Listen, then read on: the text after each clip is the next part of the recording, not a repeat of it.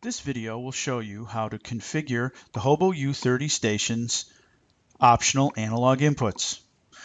You can see down here in the lower left-hand corner of the HoboWare Pro page, we have a Hobo U30 station connected to our USB port. So now we click Launch Device.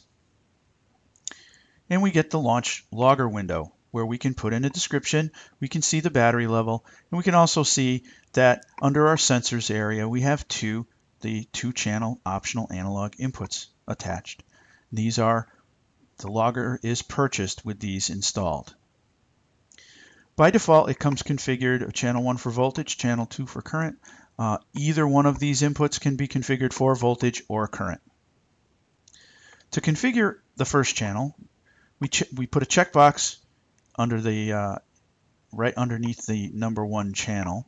We can put in a label if we wish, and we collect, confi con select Configure the sensor. We get the Configure Sensor window up here. If you have a sensor that you purchased from Onset, it's very possible that there is a pre-configured file already here that you can select and it will configure your logger accordingly. Click on Load and it gives you a list of all these sensors and all these pre-configured files. If it's not, if the, the sensor that you're using is not in this, you can click cancel and you can select your configuration manually. So what you can do is you select a sensor name, there's voltage and current, or if it's some other type of sensor, you can select custom and put that in and you can select to save it for the next time. You can also select if you want to eh, select excitation power if you need to power the sensor. Excitation power is available at 12 volts DC to 50 milliamps. That's the maximum load.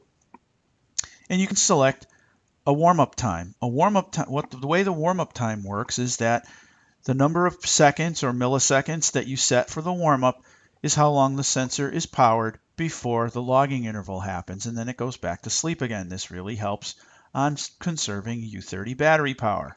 You can also select continuous, which feeds 12 volts to the sensor continuously. Be very careful using continuous power as it can drain your battery prematurely. Here you would select the measurement type, either voltage or current.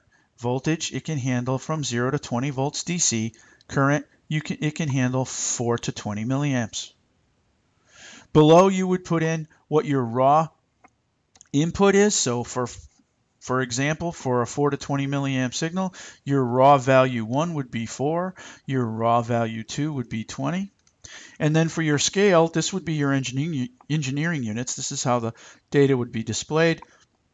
Again, you have volts, millivolts, amps, milliamps, or you can put in a custom name if um, if it was say pressure or something um, you would might want to say psi. And then you could say, okay, for this sensor, zero psi is four milliamps, five is 20, and then you click configure, and it configures that channel accordingly, and then your data will be presented as zero to five psi.